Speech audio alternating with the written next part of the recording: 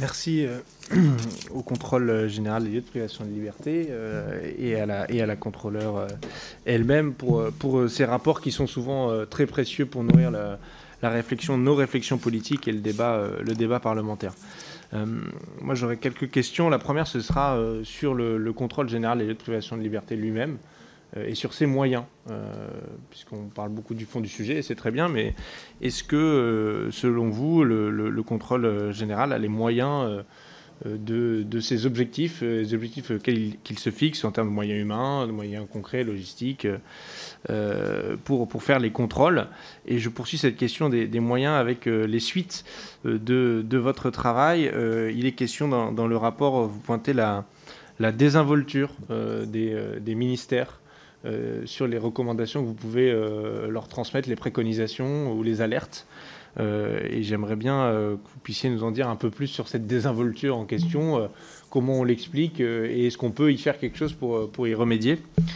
et deuxième, deuxième question, on va interroger ensuite le, directeur de l'administration pénitentiaire qui vient d'annoncer qu'il lançait des travaux sur la question de la violence en détention.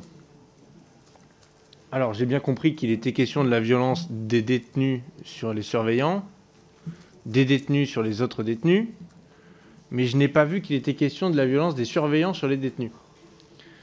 Euh, or, s'il y a de la violence, euh, il me semble qu'il y en a euh, dans, malheureusement dans toutes les directions. Et quel regard vous portez sur ce travail qui va être lancé? Est-ce que vous y serez associé?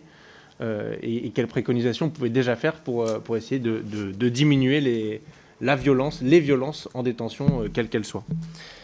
Euh, j'ai, euh, bon, je ne reviens pas sur les, recours qui seront faits sur les conditions indignes, etc. Je crois que le décret n'est même pas encore sorti, donc aujourd'hui on ne peut pas le faire formellement alors qu'on l'a voté la loi. Donc reste encore un peu de travail avant de pouvoir l'expertiser, l'analyser.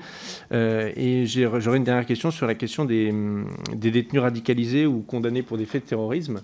Euh, est-ce qu'aujourd'hui, euh, le, CGLPL a, suffisamment de recul sur les dispositifs qui sont mis en place, notamment les binômes de soutien, l'évaluation, euh, les quartiers de, prévention de la, radicalisation Est-ce que vous arrivez à avoir le recul nécessaire pour, pour avoir une analyse un peu objective de la pertinence de ces dispositifs et de leur efficacité? Merci. Je vous remercie, Madame la Contrôleur. Ben, merci, monsieur le député, de vous occuper des moyens du CGLPL. Il se trouve que justement, nous avons demandé, nous avons demandé cinq postes supplémentaires parce que euh, nos tâches se sont accrues. dans le cadre de notre mission de prévention, euh, nous avons proposé des modules de formation euh, à l'École nationale de la magistrature, aux écoles des barreaux, aux éducateurs.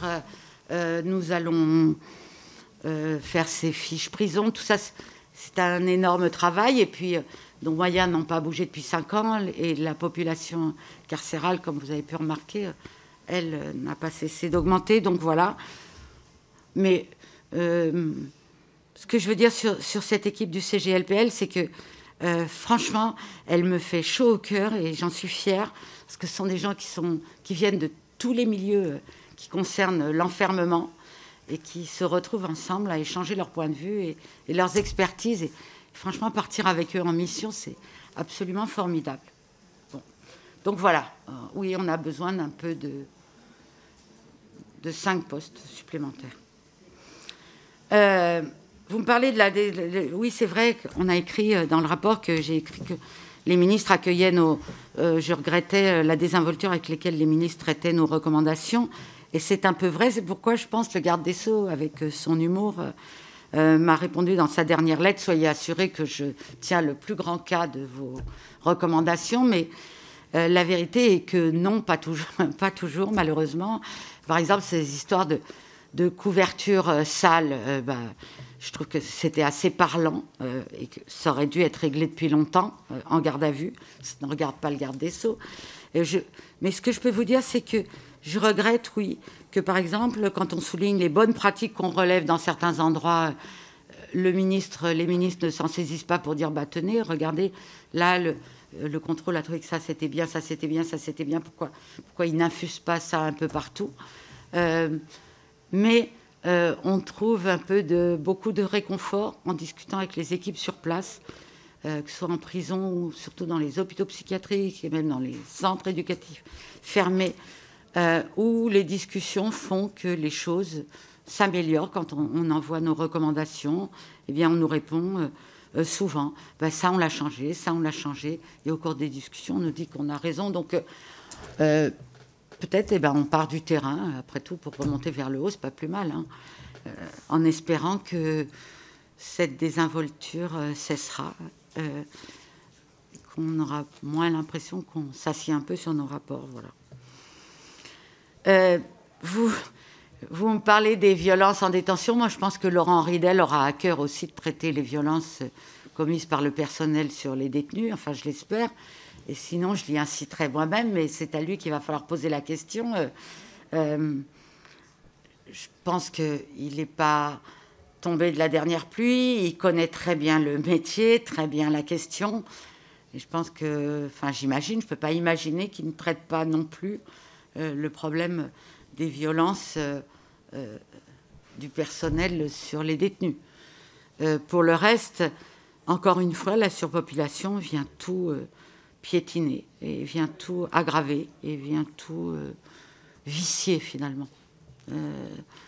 parce que le surveillant qui a, je sais pas, on en a souvent parlé ensemble, mais qui de nous accepterait d'avoir 120 détenus sous sa garde seul euh, qui de nous accepterait euh, euh, ces conditions de détention qui s'imposent également aux surveillants et, et, et, cette violence, qu'elle soit des détenus sur le personnel, du personnel sur les détenus ou, des détenus entre eux, je pense qu'elle provient énormément de là, outre le caïda qu'il faut regretter énormément, pour lequel, voilà, et, et que, tout, est vicié par la surpopulation. Quant euh, aux radicalisés, eh bien, je vais vous dire quelque chose. Je, non, je n'ai pas le recul. En tout cas, moi personnellement, peut-être toi tu l'as, André. Et je pense que personne ne l'a, parce que tout le monde tâtonne euh, totalement euh, sur la question. Et je ne sais pas si tu veux ajouter quelque chose. Moi, j'ai vu euh, j'ai assisté au début euh, des binômes euh, avec la médiation animale qui étaient bon, qui ont fait rire tout le monde. on a vu qu'on dispersait les radicalisés en détention puis qu'on les regroupait. Aucune, aucune solution finalement n'est la bonne, sinon que les radicalisés sont soumis à un régime extrêmement et particulièrement dur. Moi, actuellement là, tel que je vous parle, je n'ai pas le recul.